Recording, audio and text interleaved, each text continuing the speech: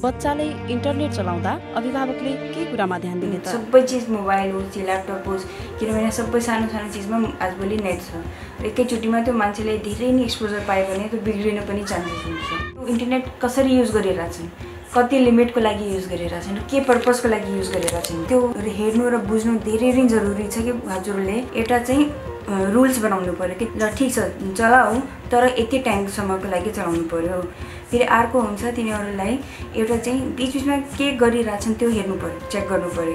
आजभोलि इन्टरनेटमा जसरी फेसबुक इन्स्टाग्राममा हामीले हरेक कुराको सानो सानो डिटेलको फोटो हालिदिन्छौँ इन्टरनेटमा यति बजे यहाँ जान्छ त्यति बजे त्यो गर्छ लोकेसन पनि देखिरहेछ कहाँ गएको छ त्यसको पछाडि पछाडि त्यो मान्छेको पछाडि जान झन् सजिलो बनाइरहेको छ त्यो आजकलको जमानामा इन्टरनेटले मेरो हिसाबले सोसियल मिडियामा बच्चाहरूले सेभेन्टिन एटलिस्ट आफ्नो एसई दिएपछि नै जान ठिक हुन्छ।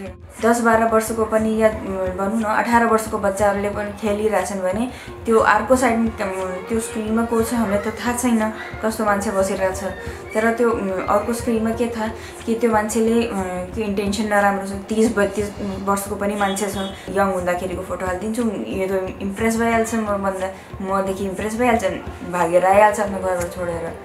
बिहा भइहाल्छ इन्टरनेटमा लभ भइहाल्छ इन्टरनेटमा यो पनि साइड इफेक्ट्स भइरहेछ इन्टरनेटको थ्रुबाट मान्छेले त्यो इन्टरनेटमा आजभोलि एज बढाएर आफ्नो त्यसमा नराम्रो साइट्सहरूमा जान सक्छ। जस्तै पन साइट्स भयो हजुरको त्यसमा चाहिँ ब्लु फिल्मसहरूको त्यो त्यसमा गयो। त्यसैले आमा बुवाले के गरिरहेछन् कस्तो गरिरहेछ बच्चाले हेर्न धेरै जरुरी हुन्छ। र सँग खालि आमा बुवाको काम होइन। यो टिचर्सहरूको पनि रेस्पोन्सिबिलिटी हो कि तिनीहरूले कहाँ गएर के खोजिरहेछन्।